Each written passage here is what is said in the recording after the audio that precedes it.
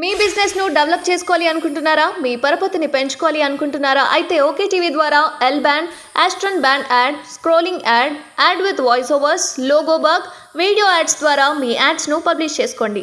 సంప్రదించవలసిన phone number eight five two zero nine one seven nine double three ఇక్కడ ఇక్కడ ఒకటి అబ్జర్వ్ చేసినట్టయితే మొత్తం ఇక్కడ ఈ పిక్చర్లో కూడా అందరు రెడ్డిలే కనబడుతున్నారు. మొత్తం. మన అంటే ఇక్కడ కులాల గురించి నేను మాట్లాడుతున్నాను కాదు. చాలా మంది అసంతృప్తితో ఉన్నారు రేవంత్ రెడ్డి గారు. చాలామంది అసంతృప్తితో ఉన్నారు. ఇదే రాహుల్ గాంధీ కాంగ్రెస్ పార్టీలో అందరూ సమానంగా ఉండాలి అన్ని కమ్యూనిటీస్కి సమానంగా టికెట్లు వస్తాయని చెప్పి చెప్పినటువంటి రాహుల్ గాంధీ గారు ప్రజాస్వామ్యం అని చెప్పి ఇవేవో చెప్పిర్రు ఇవన్నీ కూడా చెప్పారు కదా. ఇక్కడ రేవంత్ రెడ్డి గారు వీళ్ళకి ఎక్కువ టికెట్లు ఇచ్చే అవకాశం ఉందని కూడా క్లియర్గా తెలుస్తుంది. అండ్ ఇంకొంతమందికి ఎట్లు ఇస్తున్నారు టికెట్లు అంటే ఎవడైతే పార్టీకి ఎక్కువ డబ్బులు ఇస్తాడో సుమారు ఎంపీగా ఇప్పుడున్న స్ట్రాటజీ ప్రకారం ఎంపీగా ఒక క్యాండిడేట్ గెలవాలంటే నూట యాభై కోట్ల దగ్గర నుంచి మూడు వందల కోట్ల వరకు ఉండాలి వాళ్ళకి డబ్బులు. ఖర్చు పెట్టడానికే నేను చెప్పేది. పార్టీ ఫండ్ మరి ఎంత ఇస్తారో అనేది దేవుడు ఎరుగు. సో అంత డబ్బు ఉంటేనే వర్కౌట్ అవుతుంది. సో ఈ ఎవరైతే అత్యధిక శాతం డబ్బులు ఫండ్గా ఇస్తున్నారో వాళ్ళకి కూడా ఇక్కడ టికెట్లు ఇచ్చే అవకాశం క్లియర్గా కనబడుతుంది. ఎందుకంటే కాంగ్రెస్ పార్టీ ఇప్పుడు అధికారంలో ఉన్నప్పటికీ ఖజానా మాత్రం ఖాళీ అయింది. సో ఇక్కడంతా ఫండింగ్ తీసుకుంటేనే పక్క రాష్ట్రాలలో ఖర్చు పెట్టేటువంటి పక్క రాష్ట్రాల ఎలక్షన్స్ ఉన్నాయి కాబట్టి అక్కడ ఖర్చు పెట్టేటువంటి సినారియోస్ కనబడుతున్నాయి. ఎగ్జాంపుల్ మన డికే శివకుమార్ అని ఉన్నాడు. ఈ తెలంగాణ కాంగ్రెస్ పార్టీ అధికారంలోకి రావడానికి కీలక పాత్ర పోషించింది డికే శివకుమార్ ఎందుకు డికే శివకుమార్ అంటే డికే శివకుమార్కి ఇక్కడ ఏం సంబంధం? ఏం సంబంధం లేదు. కానీ ఇక్కడ పార్టీని బలపరచడానికి ఇక్కడ పార్టీని గెలిపించడానికి అతను ఫండింగ్ ఇక్కడ ఇచ్చిండు. డికే శివకుమారు సగం అమౌంట్ ఇక్కడ ఖర్చు పెట్టుకుంటున్నట్టు. ఇది అప్పట్లో వార్తల్లో కూడా ఎలక్షన్స్ టైంలో చాలా వార్తలు వచ్చినాయి. అండ్ ఇప్పుడు కొన్ని పోర్ట్ఫోలియోస్ ఇవ్వాలంటే కూడా కొన్ని పోర్ట్ఫోలియోస్ ఇవ్వాలంటే కూడా ఆ పోర్ట్ఫోలియోస్ని కూడా ఎవడైతే ఫండింగ్ ఇస్తాడో పోర్ట్ఫోలియోస్ అంటే ఏంది? క్యాబినెట్ మినిస్టర్ ఎవరైతే ఫండింగ్ ఇస్తారో డికే శివకుమార్ ఇక్కడ ఫండింగ్ ఇచ్చింది కాబట్టి మరి ఆయన ఇచ్చిన డబ్బులు ఆయనకు వెనుకకు రాబట్టుకోవాలి కదా సో ఎవరైతే ఎక్కువ డబ్బులు ఇస్తారో ఆ పదవి వాళ్ళకే ఇస్తారని చెప్పి ఒక టాక్ అది ఎంతవరకు నిజమా అబద్ధమా అనేది నాకు తెలియదు బట్ జోరుగా అక్కడనే సీఎంఓ నుంచి వచ్చిన వార్తలు నేను మీకు చెప్తున్నా. ఓకే ఇప్పుడు పెద్ద ట్విస్ట్ ఏంటంటే మా మల్లారెడ్డి సాబ్ ఉన్నాడు కదా ఎవరు? కష్టపడ్డా పని చేసిన పాలమ్మిన పూలమ్మిన సార్ ఉన్నాడు కదా. ఇక్కడ రేవంత్ రెడ్డి ముప్ప తిప్పలు పెడుతుండు మా మల్లారెడ్డి సార్ని. పాపం మా మల్లారెడ్డి సారు శాయశక్తిలా ప్రయత్నిస్తుండు కాంగ్రెస్లకు రానికి. ఏం ఆఫర్ ఇచ్చినంట ఎరకనా మల్లారెడ్డి సార్? అరే ఎందుకన్నా రేవంత్ అన్న? కాంగ్రెస్ పార్టీలో పదిహేడు స్థానాలు ఎవడెవడైతే నించుంటాడో వాళ్ళందరికీ ఫండింగ్ నేనే ఇస్తానే. జర చూసుకో అని చెప్పన్నాడంట. అంటే తెలంగాణలో ఉన్నటువంటి పదిహేడు ఎంపీ స్థానాలకు పదిహేడు ఎంపీ క్యాండిడేట్స్కు ఎవడెవడైతే నించుంటున్నాడో ఈ పదిహేడు ఎంపీ క్యాండిడేట్స్కి మొత్తం కూడా ఫండింగ్ మల్లారెడ్డి ఇవ్వగలిగేటువంటి స్తోమత మల్లారెడ్డికి ఉంది. అంత డబ్బులు సంపాదించిండు అడ్డగోలుగా. సరే పాపం ఆయన ఎందుకు? ఆయన కష్టపడ్డాడు పాపం. ఇప్పుడు ఐటీని ఎగ్గొట్టడం కూడా కష్టపడ్డమే కదా. దాన్ని ఎట్ల ఎట్లెగ్గొట్ట ఎట్లెగ్గొట్టాలని శాయశక్తులా ప్రయత్నించాలి తిమ్మిని బమ్మించాలి బమ్మిని బిమ్మించాలి మళ్ళీ లీగలైజ్ చేయాలి. సో ఫండింగ్ సరే అయినా కానీ రేవంత్ రెడ్డికి మా మల్లారెడ్డికి పర్సనల్ గ్రడ్జ్ ఉన్నాయి. గ్రడ్జ్ ఉంది. అందుకే దాంట్లో భాగంగానే మల్లారెడ్డి కబ్జా చేసి కట్టినటువంటి కాలేజ్ మొన్న ఈ సర్కారు కూలగొట్టింది బుల్డోజర్ తీసుకపోయి డప్పని గుద్దేసింది. గుద్దేస్తే మల్లారెడ్డికి జలకొచ్చింది. ఇట్లా కాదురా నాయన వీడు నన్ను బతకనిచ్చట్లేడు గతంలో రేవంత్ రెడ్డిని అన్నటువంటి మాటలు అన్ని కూడా మనసుకు తీసుకుంటున్నట్టున్నాడు.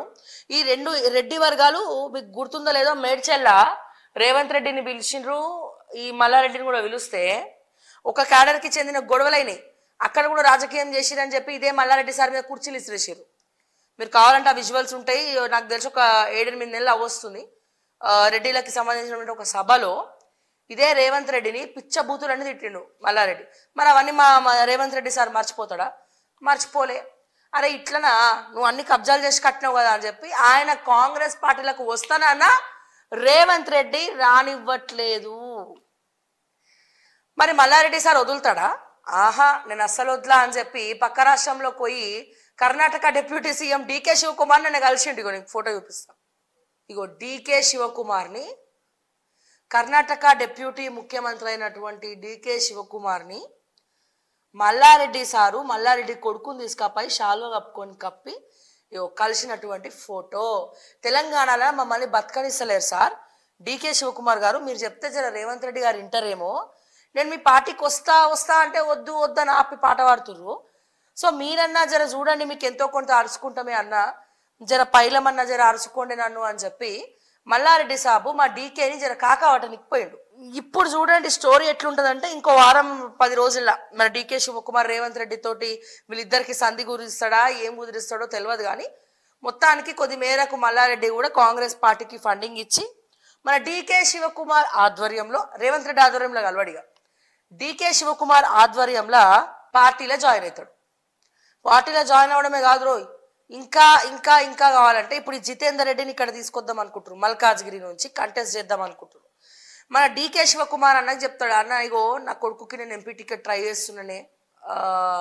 మల్కాజ్గిరి మొత్తం మందే అసలు మేడికల్ మేడ్చల్ మల్కాజ్గిరి ఆస్తులు మొత్తం నాయే. అక్కడ ఉన్నాయి ఇక్కడ ఉన్నాయి ఇక్కడ ఉన్నాయి ఇక్కడ ఉన్నాయి అబ్బో నా కాలేజ్లో అయితే మస్తు పైసలు ఉన్నాయి అన్న. ఇగో నా కొడుకు కూడా ఒక సెటిల్ చేసేస్తే అయిపోతుంది అన్న ఇక ఈ ఐదేళ్ళ నా రాజకీయ జీవితం ఇక ఐదేళ్ళ తర్వాత మస్తు నించున్నామే. ఇక తర్వాత మళ్ళీ ఏం నించుంటాం అని చెప్పి ఇక వాళ్ళ కొడుకుని అప్పటికే నెంబర్ వన్ అని చెప్పుకునే డిజిటల్ మీడియా బాగా సోపేస్తూ ఉంది.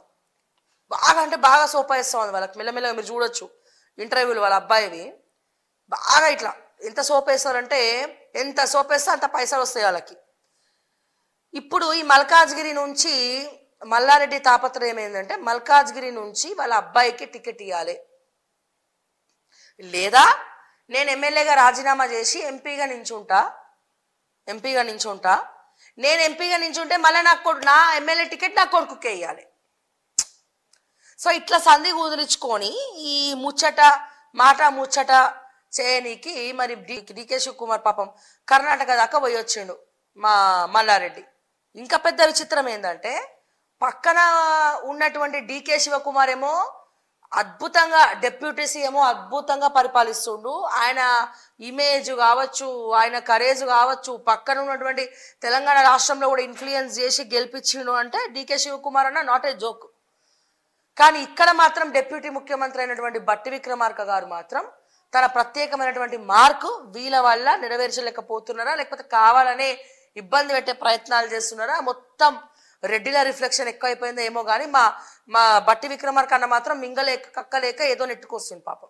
చాలా మందికి హట్ అయ్యే ఉండొచ్చు కానీ నేను జరిగేది నేను చెప్పేది అబద్ధమా నిజమా? మీరు చెప్పండి. కార్యకర్తలు చాలా మంది బట్టి కార్యకర్తలు కూడా ఫీల్ అవుతా ఉన్నారు. సో కాంగ్రెస్లా అరే మీరు ప్రజల కోసం కొట్లాడండి అంటే ఫస్ట్ వాళ్ళ కోసం వాళ్ళే కొట్లాడుకుంటారు అన్నట్టు. ప్రజల కోసం కొట్లాడతారు. ఏది నేను చెప్పేది ఒకటే ఇవన్నీ చూసినట్టయితే సినారియోస్ కానీ ఇంకో డౌట్ ఏంటంటే అసలు మల్కాజ్గిరితో ఏమాత్రం సంబంధం లేనటువంటి జితేందర్ రెడ్డి గారిని తీసుకొచ్చి మల్కాజ్గిరిలో నించోబెడితే గెలుచుడు అంత ఈజీయా కష్టమే. అది మా ఈటల రాజేంద్ర అన్నకు మాత్రం లడ్డు దొరికినట్టు దొరుకుతుంది.